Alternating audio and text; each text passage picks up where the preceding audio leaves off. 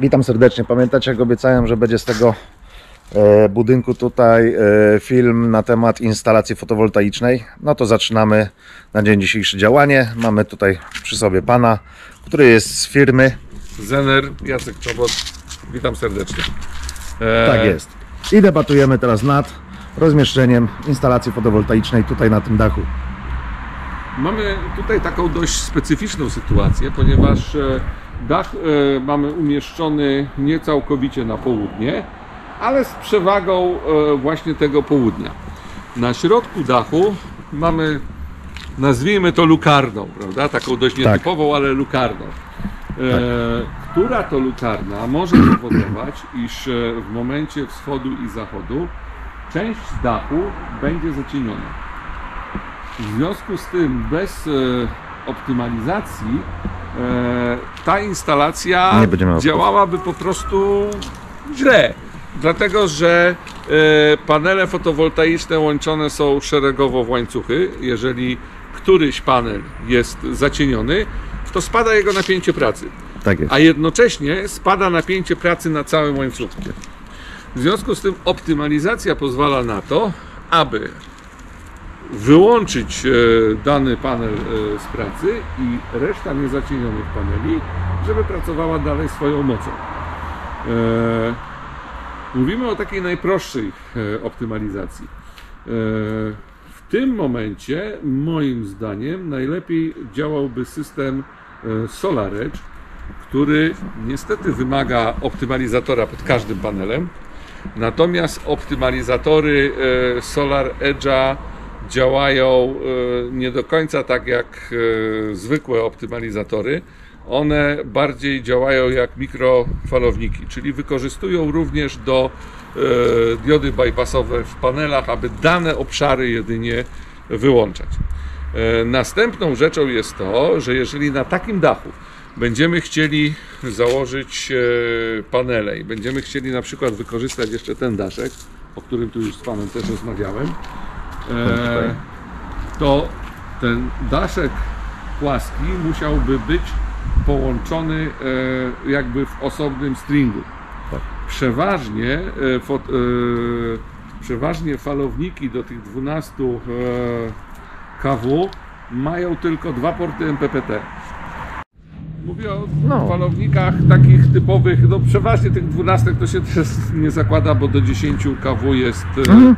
Instalacja e, no taka najbardziej popularna, choćby też ze względu e, ze względu na to, że są dotacje z, z tytułu programu Mój Prąd. Tak. E, W związku z tym mielibyśmy dość nierównomierny rozkład napięcia na falowniku, bo mielibyśmy tutaj tylko część paneli, które moglibyśmy połączyć w jeden string, następne części w drugim stringu. Przy SolarEdge'u e, możemy to wszystko połączyć w jeden e, string.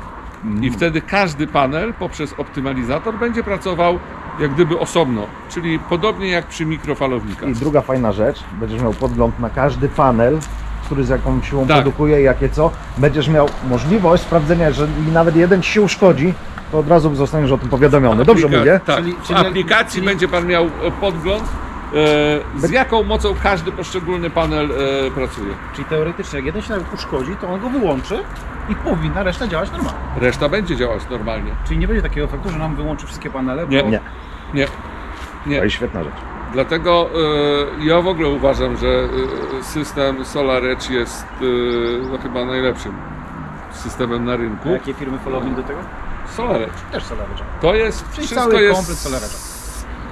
SolarEdge jest tak, że jest falownik i optymalizatory również są SolarEdge'a.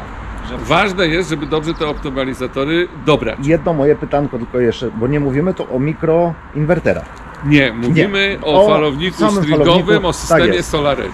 Tak jest. E, musimy jeszcze oczywiście dobrać te optymalizatory e, do długości łańcucha Tak. i co jest ważne, do prądu zwarciowego, jaki jest w karcie e, modułu fotowoltaicznego. To jest niezwykle ważna sprawa, żeby dobrze e, Żeby to ten system funkcjonowało, funkcjonował, bo tych e, optymalizatorów SolarEdge ma bardzo dużo. Ale to co jeszcze Pan wspominał, że optymalizatory SolarEdge Mhm. nie współpracują z innymi falownikami. E, Dobrze nie, to zrozumiałem? tak. System SolarEdge e, jest tak stworzony, że tylko do, do falownika SolarEdge są optymalizatory e, SolarEdge.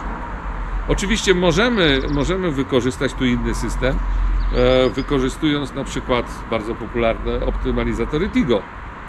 E, Jest. tak, natomiast są to dużo prostsze optymalizatory e, i twierdzę, że system SolarEdge będzie tutaj działał dużo wydajniej. Tym bardziej, że mówię, bardzo dużo, tak jak my jesteśmy na, na Discordzie, tak? PV i PC.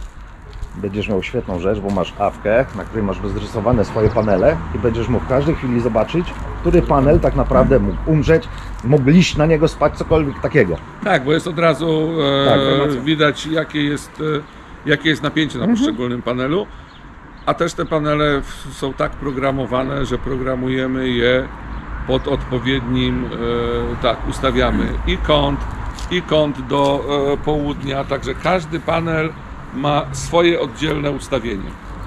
No okej, a teraz jeszcze Pan mówił, że mm, tu będzie problem, że falowniki mają tylko dwa spiny. E, W SolarEdge'u, w. SolarEdge'u wszystko łączymy w jeden string, Ale czyli w jeden łańcuch. ale tu będziemy potrzebować drugi zrobić. Nie. Nie? W SolarEdge'u właśnie nie. Czyli Solar, Solar sam Edge- wszystko unormuje. Dokładnie tak, bo ponieważ y, są optymalizatory, więc jak gdyby każdy panel jest, e, pracuje osobno. To jest taki jakby On mikro... robi sobie bypass, omija tą część i reszta Dokładnie, działa dalej. tak. Tak. Dlatego to Świetna jest rzecz. wielka zaleta SolarEdge'a, że możemy łączyć w jeden łańcuch. Ogromna. Czyli kąty nas nie interesują, zacienienia nas nie interesują. nic nas nie interesuje. On robi wszystko automatycznie. Możemy pod różnymi kątami, pod, y, w różnych płaszczyznach, z różnym nachyleniem y, montować panele i nie ma to dla SolarEdge'a znaczenia. Fajna rzecz. Jest dodatkiem i to zasilanie awaryjne e, w zasadzie często jest w ogóle e, tylko jednofazowe.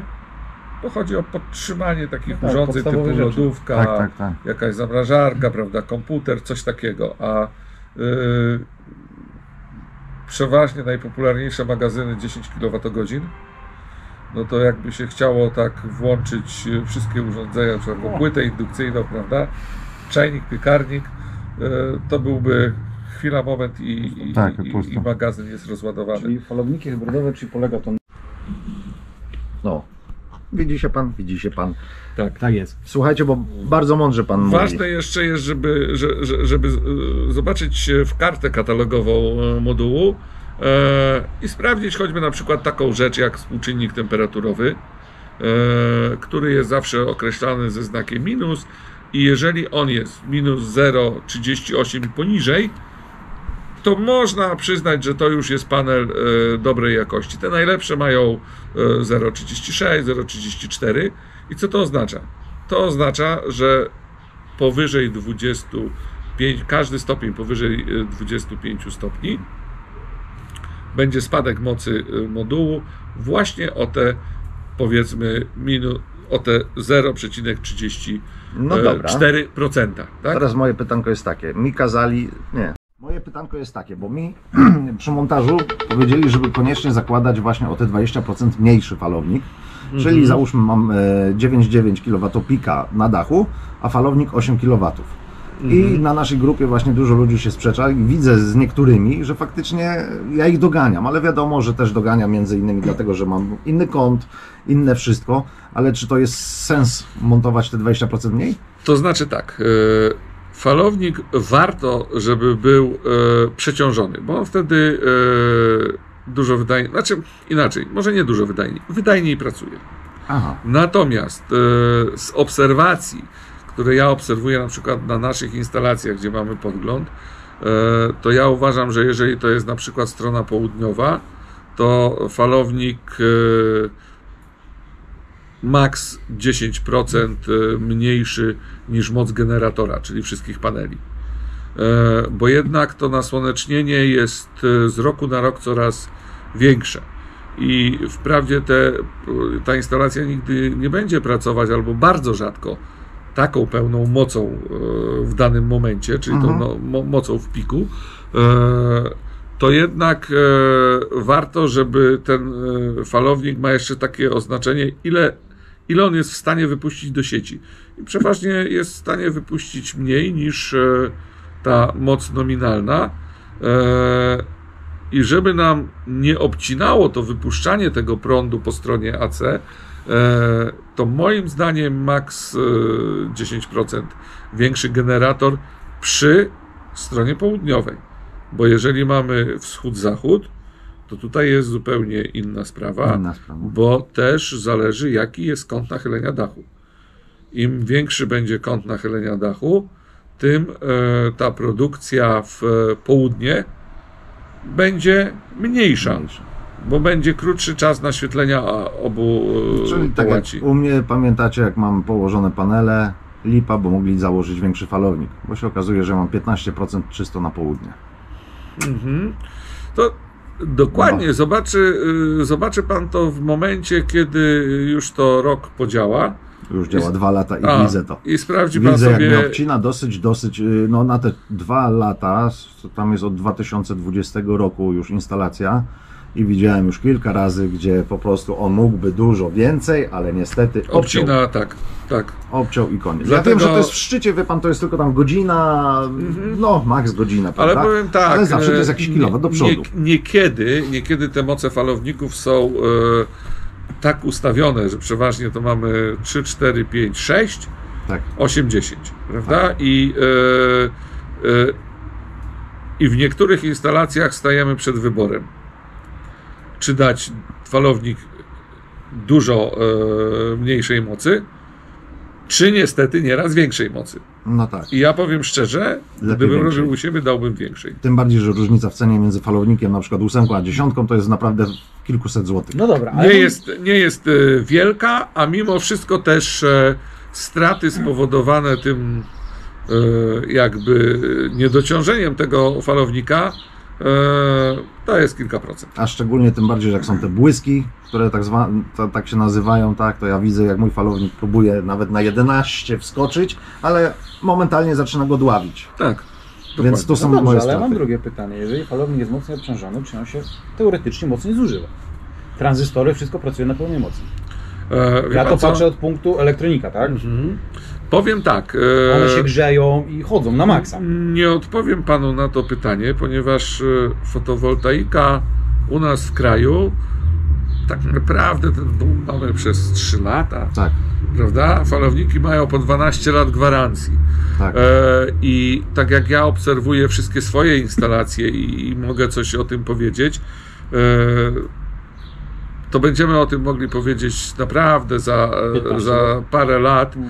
kiedy będziemy widzieć, jak te, e, czy te falowniki rzeczywiście będą przez tą gwarancję bezawaryjne, czy może jeszcze dalej, później będą bezawaryjne, bo praktycznie każdy producent e, proponuje przedłużenie gwarancji. Tak, Oczywiście ja to odpłatne. samo. Oczywiście. Oczywiście tak, mam to odpłatne, samo. prawda? Właśnie mogę wejść sobie bezpośrednio na stronę Solaxa i tam jest chyba bodajże 800 czy 700 e, dolarów za przedłużenie na następne 10 lat. Ale jest ale.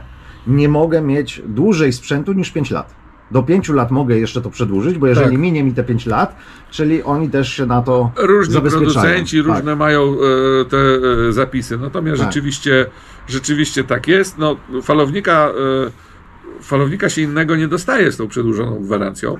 Tylko Ale dla ak- niego jest. aktuariusze sobie siedzą i Tylko- liczą e, pewnie prawdopodobieństwo wystąpienia zdarzenia. Zresztą podobnie jak w firmach ubezpieczeniowych. Tylko wie pan co, powiem panu szczerze, na podstawie tego Solaxa, którego panu nawet pokazałem przed chwilą, niech on mi strzeli za 10 lat. Ja to przeliczałem. Czy jest to sens dać te 700 czy 800 dol- dolarów, tak? To jest prawie, kupić innego. to jest prawie 5000, prawie. A nowy kosztuje 5600. To dla 1200 zł zamrożonych nie wiadomo, czy one się przydadzą, Odpowiedział pan na pytanie. Nie ma sensu najmniejszego. Ja wolę sobie pójść do sklepu za 10 lat, kupić nowy, powiesić. Dziękuję, do widzenia. Może będzie lepszy, Często- wydajniejszy, Tak. mniejszy. Tak. Technologia idzie do przodu. Technologia idzie do przodu, widzimy po panelach coraz większe moce, aczkolwiek to takie trochę złudne, bo coraz większe moce, ale coraz większe panele również. No właśnie, i to jest też No. takie bardzo złudne, bo tak naprawdę, no widzisz, ja mam 330 tak, moc kilo, y, y, 330 watopik na panelu, ale on ma przykładowo metr na pół metra. Taki przykład mówię, tak, gdzie on tam ma większe. Te, No, jakieś metr ale 70 Ty pewnie na na przykład metr. montując sobie 450 czy 400, Ten sam wymiar 400, będę miał. nie, będziesz miał dwa razy taki. I No no, nie, prawie bo, dwa razy. No. bo jeżeli rzeczywiście tutaj zdecydujemy się na panele Trina, no to będziemy mieli tam e, 1770 chyba 6 na e, 1096. Ciut większy od moich. Ciut. Tak, to tak, naprawdę niedużo. Jaka To- moc? Ale 400 400. watopików. No to masz wtedy różnicę 100 wat. 700, nie, 700 W. 70. 70, tak. A to jest dużo. Technologia trochę idzie, No więc idzie, te moce idzie. e, są, pan, ale rzeczywiście nadążymy. ciężko jest znaleźć e, już później powyżej 400. To nie mi pan odpowie na jeszcze jedno pytanie. Zostaw. Panele. Co, co widać normalnie, mm, napylony, nałożony ten e, laminat krzemu, a panele full black, czyli czarne. Które? Tak? Tak, E, zostaw, tak. panowie, e, to jest Czym to się różni? Już mówię. Na, Tak, e, na panelach e, nie całkowicie czarnych, czyli nie full blackach, Mhm. jest po prostu szkło hartowane, na które jest przyklejana folia przeźroczysta. Hmm. Na panelach full blackach jest prze, e, przyklejana folia e, czarna. Czarne. Aha. I ta czarna folia, ona po prostu Zasłania ci. pochłania więcej światła.